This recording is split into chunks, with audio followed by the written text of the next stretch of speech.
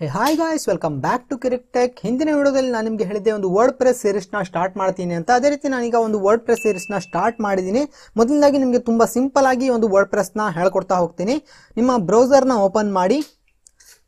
Normal ಆಗಿ ನೀವು ಬೇರೆ ಬೇರೆ ವಿಡಿಯೋಗಳಲ್ಲಿ ನೋಡಿರ್ಬೋದು, ಈ ಒಂದು ವೆಬ್ಸೈಟ್ನ ನೀವು ಹೋಸ್ಟ್ ಮಾಡಬೇಕಾದ್ರೆ ಡೊಮೈನ್ ಬೇಕಾಗುತ್ತೆ ಹೋಸ್ಟಿಂಗ್ ಬೇಕಾಗುತ್ತೆ ಪರ್ಚೇಸ್ ಮಾಡಿ ಅಂತ. ಆದರೆ ನನಗೆ ಈ ಒಂದು ವಿಡಿಯೋದಲ್ಲಿ ಈ ಒಂದು ಡೊಮೈನ್ ಮತ್ತೆ ಹೋಸ್ಟಿಂಗ್ ಪರ್ಚೇಸ್ನ ಹೇಳ್ತಾ ಇಲ್ಲ. ಯಾಕಂದ್ರೆ ನಾವು ಮೊದಲನೇದಾಗಿ ಸ್ಟಾರ್ಟಿಂಗಲ್ಲಿ ತುಂಬ ಬ್ಯೂಟಿಫುಲ್ ಆಗಿ ಒಂದು ವೆಬ್ಸೈಟ್ನ ಡಿಸೈನ್ ಮಾಡ್ಕೊಳ್ಳೋಣ. ನಂತರ ನಾವು ಅದನ್ನ ಹೋಸ್ಟಿಂಗ್ ಮತ್ತೆ ಡೊಮೈನ್ನ ಪರ್ಚೇಸ್ ಮಾಡೋಣ. ಅಂದರೆ ಲಾಸ್ಟಲ್ಲಿ ನಿಮಗೆ ಒಂದು ಡೊಮೈನ್ ಮತ್ತೆ ಇದರ ಪರ್ಚೇಸ್ನ ತಿಳಿಸ್ಕೊಡ್ತೀನಿ. ಯಾಕಂದ್ರೆ ನೀವು ಸಿಂಪಲ್ ಆಗಿ ವರ್ಡ್ ಪ್ರೆಸ್ನ ಕಲಿಬೇಕು ಅಂತ ಬಂದಿದ್ರೆ ನೀವು ಫ್ರೀಯಾಗಿ ಕಲ್ತ್ಕೊಂಡು ಹೋಗ್ಬೋದು. ಆದರೆ ನಿಮ್ಮ ವೆಬ್ಸೈಟ್ನ ನೀವು ಬಿಲ್ಡ್ ಮಾಡಿ ಅದನ್ನ ಲಾಂಚ್ ಮಾಡ್ತಾ ಇದ್ದೀರಾ ಅಂದರೆ ಮಾತ್ರ ಈ ಒಂದು ಡೊಮೈನ್ ಮತ್ತು ಹೋಸ್ಟಿಂಗ್ನ ಪರ್ಚೇಸ್ ಮಾಡಬೇಕಾಗುತ್ತೆ. ನಾನು ನಿಮಗೆ ಇದು ಒಂದು ವಿಡಿಯೋದಲ್ಲಿ ಸ್ಟಾರ್ಟಿಂಗಲ್ಲಿ ಕಂಪ್ಲೀಟ್ ಆಗಿ ಲೋಕಲ್ ಹೋಸ್ಟ್ನಲ್ಲಿ ಈ ಒಂದು ವರ್ಡ್ ಪ್ರೆಸ್ನ ಇನ್ಸ್ಟಾಲ್ ಮಾಡಿ ಹೇಗೆ ಅದರಲ್ಲಿ ನಮ್ಮ ವೆಬ್ಸೈಟ್ನ ಬಿಲ್ಡ್ ಮಾಡಬೇಕು ಅಂತ ತಿಳಿಸ್ಕೊಡ್ತೀನಿ. ಅದರಿಂದ ನಾವು ಈ ಒಂದು ವಿಡಿಯೋದಲ್ಲಿ ಸ್ಟಾರ್ಟಿಂಗಲ್ಲೇ ಒಂದು ಡೊಮೈನ್ ಮತ್ತೆ ಹೋಸ್ಟಿಂಗ್ ಪರ್ಚೇಸ್ನ ಬಗ್ಗೆ ನೋಡಲ್ಲ ಡೈರೆಕ್ಟ್ ಆಗಿ ನಿಮಗೆ ವರ್ಡ್ ಪ್ರೆಸ್ನ ಇನ್ಸ್ಟಾಲೇಷನ್ನ ತಿಳಿಸ್ಕೊಡ್ತೀನಿ. ಈ ಒಂದು ವರ್ಡ್ ಪ್ರೆಸ್ನ ನೀವು ನಿಮ್ಮ ಲ್ಯಾಪ್ಟಾಪಲ್ಲಿ ಅಂದ್ರೆ ಲೋಕಲ್ ಆಗಿ ನೀವು ನಿಮ್ಮ ಒಂದು ವೆಬ್ಸೈಟ್ನ ಡೆವಲಪ್ ಮಾಡಬೇಕಂದ್ರೆ ಮೊದಲದಾಗಿ ನಿಮಗೆ ಒಂದು ಸಾಫ್ಟ್ವೇರ್ ಬೇಕಾಗುತ್ತೆ ಎಕ್ಸಾಂಪ್ ಅಂತ. ಈ ಒಂದು ಎಕ್ಸಾಂಪ್ ಅಂದ್ರೆ ತುಂಬಾ ಸಿಂಪಲ್ ನೀವು ಒಂದು ಸರ್ವರ್ನ ಕೇಳಿರ್ಬೋದು, ಈ ಒಂದು ಡೆವಲಪ್ಮೆಂಟ್ ಸರ್ವರ್, ಅಂದರೆ ನೀವು ಈಗ ಏನು ಹೋಸ್ಟಿಂಗ್ ಮಾಡ್ತೀರಾ, ಅವ್ರು ನಿಮಗೆ ಸರ್ವರ್ನ ಪ್ರೊವೈಡ್ ಮಾಡ್ತಾರೆ. ನೀವು ಮಂತ್ಲಿ ಅದಕ್ಕೆ ಪೇ ಮಾಡ್ತೀರಾ.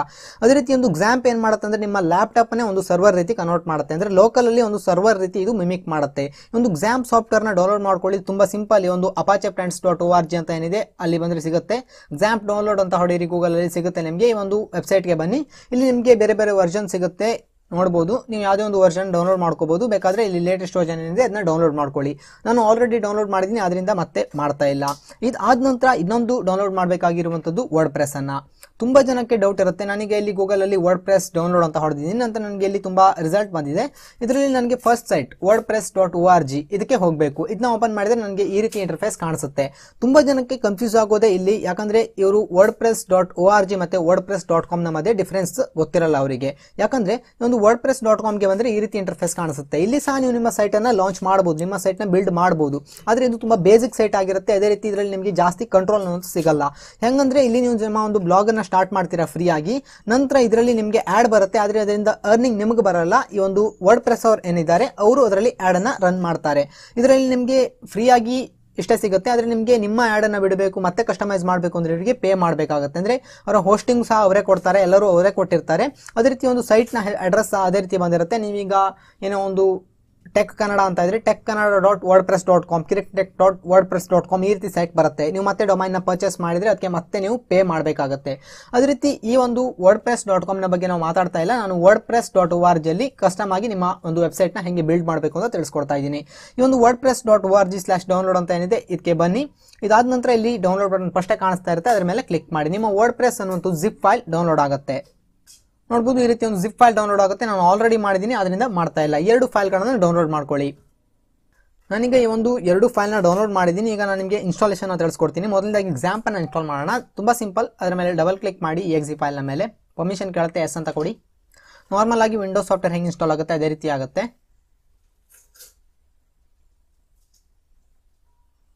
ನಂತರ ನಿಮಗೆ ಈ ರೀತಿ ಒಂದು ವಾರ್ನಿಂಗ್ ಬರುತ್ತೆ ಓಕೆ ಅಂತ ಕೊಡಿ, ಪರವಾಗಿಲ್ಲ. ನಂತರ ನೆಕ್ಸ್ಟ್ ಅಂತ ಕೊಡಿ, ನಂತರ ಈ ರೀತಿ ವಿಂಡೋ ಬರುತ್ತೆ, ಹಾಗೆ ಇಟ್ಟು ನೆಕ್ಸ್ಟ್ ಅಂತ ಕೊಡಿ.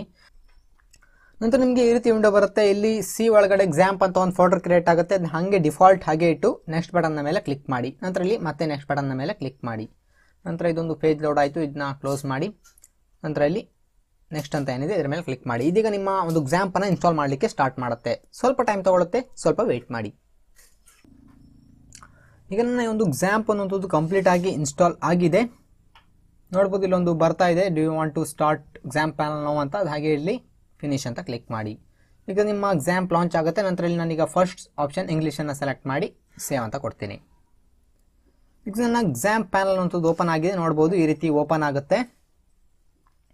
ಇದರ ನಂತರ ನಿಮಗೆ ತಿಳಿಸ್ಕೊಡ್ತೀನಿ. ಇದನ್ನೆಲ್ಲ ಮಾಡಬೇಕಂತ. ನಾವೀಗ ವರ್ಡ್ ಪ್ರೆಸ್ನ ಇನ್ಸ್ಟಾಲ್ ಮಾಡೋದು ನೋಡೋಣ. ಇದನ್ನೀಗ ಕ್ಲೋಸ್ ಮಾಡ್ತೀನಿ ನಾನು ಇಲ್ಲಿಗೆ. ನಂತರ ಮತ್ತೆ ನಾನೀಗ ವರ್ಡ್ ಪ್ರೆಸ್ನ ಏನು ಡೌನ್ಲೋಡ್ ಮಾಡಿದ ಜಿಪ್ಪನ್ನು ಅದನ್ನ ರೈಟ್ ಕ್ಲಿಕ್ ಮಾಡಿ ಎಕ್ಸ್ಟ್ರಾಕ್ಟ್ ಮಾಡಿ. ನಂತರ ಇದು ಎಕ್ಸ್ಟ್ರಾಕ್ಟ್ ಆಗಿದೆ ಕಂಪ್ಲೀಟ್ ಆಗಿ. ನಂತರ ಒಂದು ಫೋಲ್ಡರ್ನ ಓಪನ್ ಮಾಡಿ. ಅದರಲ್ಲಿ ಒಂದು ಫೋಲ್ಡರ್ ಸಿಗುತ್ತೆ ವರ್ಡ್ ಪ್ರೆಸ್ ಅಂತ. ಅದರಲ್ಲಿ ನಿಮಗೆ ಕಂಪ್ಲೀಟ್ ಆದ ವರ್ಡ್ ಪ್ರೆಸ್ನ ಫೈಲ್ ಇದೆ.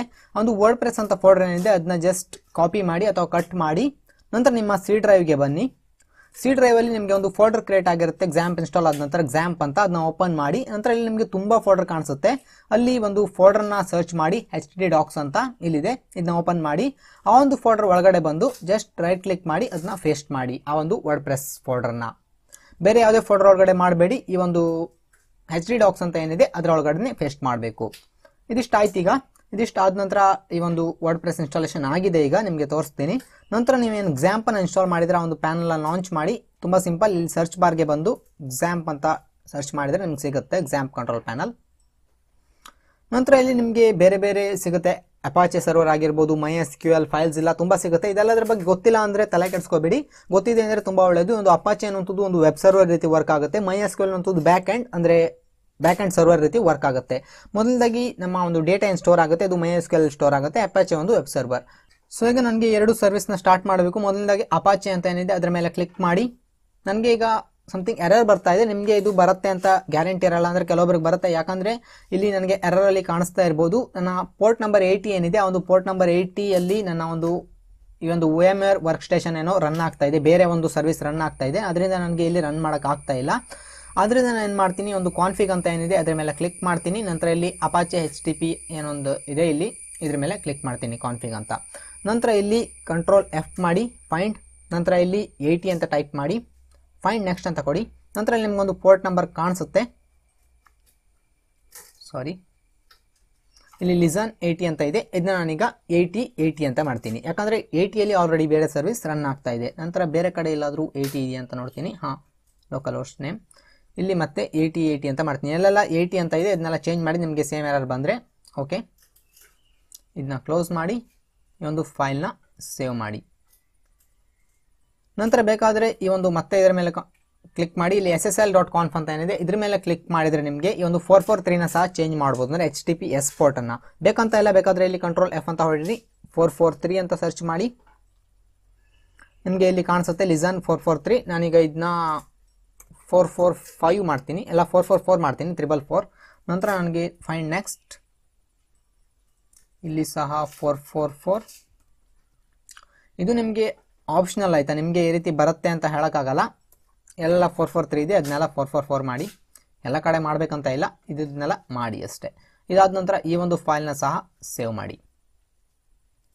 ಸೇವ್ ಆದ ನಂತರ ಇಲ್ಲಿ ಸ್ಟಾರ್ಟ್ ಬಟನ್ನ ಮೇಲೆ ಕ್ಲಿಕ್ ಮಾಡಿ. ನಿಮಗೆ ಈ ರೀತಿ ಪ್ರಾಬ್ಲಮ್ ಬಂದಿಲ್ಲ ಅಂದರೆ ಪರವಾಗಿಲ್ಲ. ನೋಡ್ಬೋದು, ಈಗ ನನ್ನ ಒಂದು ಏಯ್ಟ್ ಜೀರೋ ಏಟ್ ಜೀರೋ ಮತ್ತು ಫೋರ್ ಫೋರ್ ಫೋರಲ್ಲಿ ಇದು ಸ್ಟಾರ್ಟ್ ಆಗಿದೆ. ನಂತರ ಇಲ್ಲಿ ಮೈ ಎಸ್ನ ಸಹ ಸ್ಟಾರ್ಟ್ ಮಾಡಿ. ನಿಮಗೆ ಎರರ್ ಬಂದಿಲ್ಲ ಏಯ್ಟಿಯಲ್ಲೇ ಡೈರೆಕ್ಟ್ ರನ್ ಆಗ್ತಾ ಇದೆ ಪರವಾಗಿಲ್ಲ ನೋ ಪ್ರಾಬ್ಲಮ್ ಈ ರೀತಿ ಎರರ್ ಬಂದರೆ ಮಾತ್ರ ಈ ಒಂದು ಏಯ್ಟಿ ಪೋರ್ಟನ್ನು ಚೇಂಜ್ ಮಾಡಬೇಕಾಗುತ್ತೆ. ನೀವು ಈ ಒಂದು ಕಾನ್ಫಿಗ್ ಫೈಲ್ನ ಮೇಲೆ ಕ್ಲಿಕ್ ಮಾಡಿ. ಈಗ ನನ್ನ ಈ ಒಂದು ಅಪಾಚೆ ಮಾತ್ರ ಮೈ ಎಸ್ ಸರ್ವರ್ ರನ್ ಆಗ್ತಾ ಇದೆ. ಈಗ ನಾನು ಯಾವುದೇ ಒಂದು ಬ್ರೌಸರ್ನ ಓಪನ್ ಮಾಡ್ಬೋದು. ನಾನೀಗ ಇಲ್ಲಿ ಕ್ರೋಮನ್ನು ಓಪನ್ ಮಾಡ್ತೀನಿ.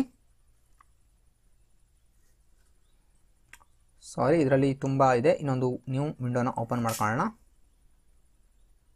ಇಲ್ಲಿ ನಾನೀಗ ಲೋಕಲ್ ಹೋಸ್ಟ್ ಸಾರಿ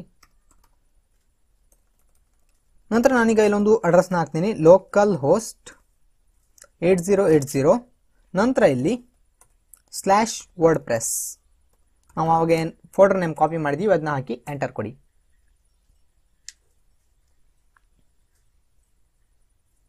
ಇದಾದ ನಂತರ ನೀವು ಅಂದರೆ ಈ ಒಂದು ಇನ್ಸ್ಟಾಲೇಷನ್ ಎಲ್ಲ ಆದ ನಂತರ ನೀವು ನೆಟ್ಟನ್ನು ಬೇಕಾದರೆ ಡಿಸ್ಕನೆಕ್ಟ್ ಮಾಡ್ಬೋದು, ಯಾವುದೇ ಪ್ರಾಬ್ಲಮ್ ಇಲ್ಲ. ಯಾಕಂದರೆ ಇದು ಲೋಕಲ್ ಹೋಸ್ಟಲ್ ರನ್ ಆಗ್ತಾ ಇರುತ್ತೆ. ನಿಮಗೆ ಇಂಟರ್ನೆಟ್ನ ಅವಶ್ಯಕತೆ ಇರಲ್ಲ ಇಲ್ಲಿ. ನೋಡ್ಬೋದು ಈ ಒಂದು ವರ್ಡ್ ಪ್ರೆಸ್ ಈ ರೀತಿ ಓಪನ್ ಆಗಿದೆ. ಇದನ್ನು ಸೆಟಪ್ ಮಾಡೋಣ. ಅದಕ್ಕೂ ಮುಂಚೆ ಒಂದು ಕೆಲಸನ ಮಾಡ್ಬೇಕು ನಾವು. ಇನ್ನೊಂದು ಹೊಸ ಟ್ಯಾಬನ್ನು ಓಪನ್ ಮಾಡಿ. ನಂತರ ಇಲ್ಲಿ ಮತ್ತೆ ಒಂದು ಸರ್ಚ್ ಮಾಡಿ ಅಂದರೆ local host eight zero eight zero ಯಾಕಂದರೆ ನೀವು ಏಟ್ ಜೀರೋ ಏಟ್ ಜೀರೋ ಅಂದರೆ ಏಯ್ಟಿ ಫೋಟೋನ ಚೇಂಜ್ ಮಾಡಿಲ್ಲ ಅಂದರೆ ಒಂದು ಫೋಟೋನ ಹಾಕಬೇಕಂತ ಇರಲಿಲ್ಲ. ಡೈರೆಕ್ಟಾಗಿ ಲೋಕಲ್ ಹೋಸ್ಟ್ ಸ್ಲ್ಯಾಶ್ ಅಂತ ಹಾಕಿದ್ರು ಬರ್ತಾ ಇತ್ತು. ಬಟ್ ನನ್ನ ಫೋಟ್ ಚೇಂಜ್ ಆಗಿದೆ, ಅದನ್ನು ನಾನು ಹಾಕಬೇಕಾಗಿದೆ. ನಂತರ ಇಲ್ಲಿ P H P my admin ಅಂತ ಸರ್ಚ್ ಮಾಡಬೇಕು. P H P my admin enter ಕೊಡಿ. ನಂತರ ನಿಮ್ಮ ಒಂದು database P H my admin open ಆಗುತ್ತೆ. ನಿಮಗೆ ಇದರಲ್ಲಿ ಏನು ಗೊತ್ತಿಲ್ಲ ಅಂದರೆ ಪರವಾಗಿಲ್ಲ. ಡೋಂಟ್ ವರಿ ನಂತರ ಇಲ್ಲಿ ಡೈರೆಕ್ಟಾಗಿ ಡೇಟಾಬೇಸ್ ಅಂತ ಏನಿದೆ, ಅದರ ಮೇಲೆ ಕ್ಲಿಕ್ ಮಾಡಿ. ಈ ರೀತಿ ಓಪನ್ ಆಗುತ್ತೆ. ಇದರಲ್ಲಿ ಆಲ್ರೆಡಿ ಏನೋ ಕೊಟ್ಟಿದ್ದಾರೆ. ಪರವಾಗಿಲ್ಲ. ನಂತರ ಇಲ್ಲಿ ಡೇಟಾಬೇಸ್ ನೇಮ್ ಮೇಲೆ ಕ್ಲಿಕ್ ಮಾಡಿ ವರ್ಡ್ ಪ್ರೆಸ್ ಅಂತ ಒಂದು ಡೇಟಾಬೇಸ್ನ ಕ್ರಿಯೇಟ್ ಮಾಡಿ. ಇದಾದ ನಂತರ ಇಲ್ಲಿ ಕ್ರಿಯೇಟ್ ಬಟನ್ನ ಮೇಲೆ ಕ್ಲಿಕ್ ಮಾಡಿ. ಇಲ್ಲಿ ಏನೋ ಇದೆ? ಪರವಾಗಿಲ್ಲ ನಿಮಗೆ. ಗೊತ್ತಿದೆ ಅಂದರೆ ವೆಲ್ ಆ್ಯಂಡ್ ಗುಡ್ ಇಲ್ಲ ಅಂದರೆ ಪರವಾಗಿಲ್ಲ. ಈ ರೀತಿ ಕ್ರಿಯೇಟ್ ಆಗಿದೆ. ಇಷ್ಟೇ. ನಂತರ ಇದನ್ನ ಕಟ್ ಮಾಡಿ. ನಂತರ ನಮಗೆ ಈ ಒಂದು ವರ್ಡ್ ಪ್ರೆಸ್ ಏನು ಓಪನ್ ಆಗಿದೆ? ಇದರ ಮೇಲೆ ಈ ರೀತಿ ಓಪನ್ ಆಗಿದೆ WordPress window let's go ನಂತರ ಇಲ್ಲಿ ನನಗೆ ಫಸ್ಟ್ ಈ ರೀತಿ ವಿಂಡೋ ಕಾಣ್ತಾ ಇದೆ. ಇದರಲ್ಲಿ ನಾವು ಕೆಲವೊಂದು ಇನ್ಫಾರ್ಮೇಷನ್ನ ಫಿಲ್ ಮಾಡಬೇಕು. ಮೊದಲದಾಗಿ ಡೇಟಾಬೇಸ್ ನೇಮ್ ನಾವು ಆಲ್ರೆಡಿ ಕೊಟ್ಟಿದ್ದೀವಿ. ಇಲ್ಲಿ ಸೆಲೆಕ್ಟ್ ಆಗಿದೆ ಇದು ವರ್ಡ್ ಪ್ರೆಸ್ ಅಂತ. ಅದೇ ಒಂದು ನೇಮನ್ನು ಹಾಗೆ ಇಡ್ತಾ ಇದ್ದೀವಿ. ಯಾಕಂದರೆ ವರ್ಡ್ ಪ್ರೆಸ್ ಡೇಟಾಬೇಸ್ನ ನಾವು ಆಲ್ರೆಡಿ ಕ್ರಿಯೇಟ್ ಮಾಡಿದ್ದೀವಿ. ನಂತರ ಯೂಸರ್ ನೇಮ್ ನಿಮ್ಮ ಒಂದು ಯೂಸರ್ ನೇಮ್ ಕೊಡಬೇಕಾಗುತ್ತೆ ನೀವು. ನಾರ್ಮಲ್ ಆಗಿ ಈ ಒಂದು ಎಕ್ಸಾಂಪಲ್ ಏನಿದೆ ಡಿಫಾಲ್ಟ್ ಯೂಸರ್ ನೇಮು ರೂಟ್ ಅದೇ ರೀತಿ ಪಾಸ್ವರ್ಡ್ ಬ್ಲ್ಯಾಂಕ್ ಇರುತ್ತೆ. ಪಾಸ್ವರ್ಡ್ ಏನೂ ಇರಲ್ಲ. ಇದೇ ಒಂದು ಡಿಫಾಲ್ಟ್ ಆಗಿರುತ್ತೆ. ಇದನ್ನ ಹಾಗೆ ಹೇಳೋಣ. ನಂತರ ಡೇಟಾಬೇಸ್ ಹೋಸ್ಟ್ ಅಂತ ಏನಿದೆ, ನಾವಿನ್ನು ಹೋಸ್ಟಿಂಗ್ನ ಪರ್ಚೇಸ್ ಮಾಡಿದ್ರೆ ನಾವು ಲೋಕಲ್ ಹೋಸ್ಟಲ್ಲಿ ಮಾಡ್ತಾ ಇದೀವಿ ಲೋಕಲ್ ಹೋಸ್ಟ್ ಹಾಗೆ ಇರಲಿ. ನಂತರ ಟೇಬಲ್ ಪ್ರಿಫಿಕ್ಸ್ ಡಬ್ಲ್ಯೂ ಪಿ ಹಾಗೆ ಇರಲಿ. ಸಬ್ಮಿಟ್ ಅಂತ ಕ್ಲಿಕ್ ಮಾಡಿ. ನಂತರ ಇಲ್ಲಿ ರನ್ ಇನ್ಸ್ಟಾಲೇಷನ್ ನಂತರ ಇಲ್ಲಿ ನಿಮಗೆ ಕೆಲವೊಂದು ಇನ್ಫಾರ್ಮೇಷನ್ ಕೇಳುತ್ತೆ. ಸೈಟ್ ಟೈಟಲ್ ನಿಮ್ಮ ಸೈಟ್ಗೆ ಏನು ಟೈಟಲ್ ಇಡ್ತೀರಾ ಅಂತ. ನೀವೇನು ಬೇಕಾದರೂ ಇಡ್ಬೋದು. ನಾನೀಗ ಇಲ್ಲಿ ಕಿರಿಕ್ ಟೆಕ್ ಅಂತ ಇಡ್ತೀನಿ. ನಿಮ್ಮ ಇಷ್ಟ ಏನು ಬೇಕಾದರೂ ಇಡ್ಬೋದು ನೀವು. ನಂತರ ಇಲ್ಲಿ ಪಾಸ್ವರ್ಡ್ನ ಕೇಳ್ತಾ ಇದೆ. ಇದು ತುಂಬ ಸ್ಟ್ರಾಂಗ್ ಪಾಸ್ವರ್ಡ್ನ ಇಟ್ಟಿದ್ದಾರೆ ಅವರು. ಆಟೋಮೆಟಿಕ್ ಸಜೆಸ್ಟ್ ಇದೆ ಇಲ್ಲಿ. ನಾನೀಗ ನಾನು ಸಿಂಪಲ್ ಪಾಸ್ವರ್ಡ್ನ ಇಡ್ತೀನಿ ನಾನು ಇಲ್ಲಿ ಕಿರಿಕ್ ಅಂತ ಹೇಳ್ತೀನಿ. ಬಟ್ ನಿಮ್ಮ ಒಂದು ವೆಬ್ಸೈಟ್ ನೀವೇನಾದರೂ ಲಾಂಚ್ ಮಾಡ್ತಾ ಇದ್ದೀರಾ ಅಂದರೆ ದಯವಿಟ್ಟು ಇಂಥ ಪಾಸ್ವರ್ಡ್ನ ಇಡಕ್ಕೆ ಹೋಗಬೇಡಿ. ನಿಮ್ಮ ಸೈಟ್ ಈಸಿಯಾಗಿ ಹ್ಯಾಕ್ ಆಗುತ್ತೆ. ನಾನು ನಿಮಗೆ ತುಂಬ ಸಿಂಪಲ್ ಆಗಿ ಪಾಸ್ವರ್ಡ್ನ ಇಡ್ತೀನಿ ವೆರಿ ವೀಕ್ ಅಂತ ಹೇಳ್ತಾ ಇದೆ. ಪರವಾಗಿಲ್ಲ. ಕನ್ಫರ್ಮ್ ಯೂಸ್ ವೀಕ್ ಪಾಸ್ವರ್ಡ್ ಅಂತ ಇದೆ. ಅದರ ಮೇಲೆ ಟಿಕ್ ಮಾಡ್ತೀನಿ. ಯಾಕಂದರೆ ನನಗೆ ಮತ್ತೆ ಮತ್ತೆ ಒಂದು ಸ್ಟ್ರಾಂಗ್ ಪಾಸ್ವರ್ಡ್ ಇದ್ದರೆ ನೆನಪಾಗ್ತಾರಲ್ಲ ನೆನಪಾಗ್ತಾ ಇರುತ್ತೆ. ಅದರಿಂದ ಇಮೇಲ್ನ ಕೇಳ್ತಾ ಇದೆ. ನಾನೀಗ ಒಂದು ಇಮೇಲ್ನ ಕೊಡ್ತೀನಿ. ನೀವೇನಿ ಇಮೇಲ್ನ ಕೊಡ್ಬೋದು. ನೋಡ್ಬೋದು, ನಂತರ ನನಗೆ ಒಂದು ಆಪ್ಷನ್ ಬರ್ತಾ ಇದೆ. Discourage search engine from indexing this site ಅಂತ. ಇದನ್ನ ನೀವು ಕ್ಲಿಕ್ ಮಾಡಬಾರ್ದು. ಇದನ್ನ ಕ್ಲಿಕ್ ಮಾಡಿದ್ರೆ ಏನಾಗುತ್ತೆ ಅಂದರೆ ನೀವೇನಾದರೂ ನಿಮ್ಮ ಸೈಟ್ನ ರ್ಯಾಂಕ್ ಮಾಡ್ತಾ ಇದ್ದೀರಾ ಬ್ಲಾಗಿಂಗ್ ಮಾಡ್ತಾ ಇದ್ದೀರಾ ಅಂದರೆ ಗೂಗಲ್ ಸರ್ಚಿಂಗ್ನಲ್ಲಿ ನಿಮ್ಮ ಒಂದು ಸೈಟ್ ಅಂತೂ ರ್ಯಾಂಕೇ ಆಗಲ್ಲ. ಅಂದರೆ ಅದು ನಿಮಗೆ ಡಿಸ್ಪ್ಲೇನೇ ಆಗಲ್ಲ. ಅದರಿಂದ ಈ ಒಂದು ಆಪ್ಷನ್ನ ಟಿಕ್ ಮಾಡೋಕ್ಕೆ ಹೋಗಬೇಡಿ. ಜಸ್ಟ್ ಇನ್ಸ್ಟಾಲ್ ವರ್ಡ್ ಪ್ರೆಸ್ ಅಂತ ಕೊಡಿ. ಸರಿ ನಾನು ಇಲ್ಲಿ ಯೂಸರ್ ನೇಮ್ನ ಕೊಟ್ಟಿರಲಿಲ್ಲ. ಅದರಿಂದ ಎರರ್ ಕೊಡ್ತಾ ಇತ್ತು. ಕಿರಿಕ್ ಅಂತ ಯೂಸರ್ ನೇಮ್ನ ಕೊಟ್ಟೆ. ಕನ್ಫರ್ಮ್ ಇನ್ಸ್ಟಾಲ್ ವರ್ಡ್ ಪ್ರೆಸ್ ಎಲ್ಲ ಫೀಲ್ಡನ್ನು ನೀವು ಫಿಲ್ ಮಾಡಬೇಕಾಗತ್ತೆ. ನಾನು ಯೂಸರ್ ನೇಮನ್ನು ಕೊಟ್ಟಿರಲಿಲ್ಲ.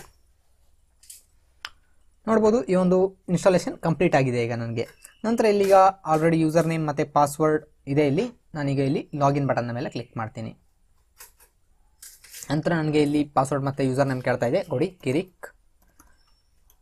ಇದನ್ನು ಸಹ ಕಿರಿಕ್ ಅಂತ ಕೊಟ್ಟಿದ್ದೆ ನಾನು. ನಂತರ ರಿಮೆಂಬರ್ ಮೀ ನನಗೆ ಮತ್ತೆ ಮತ್ತೆ ಲಾಗಿನ್ ಮಾಡಬೇಕಂತ ಇಲ್ಲ. ಅಂದರೆ ಪಾಸ್ವರ್ಡ್ ಹಾಕಬೇಕಂತ ಇಲ್ಲ. Just login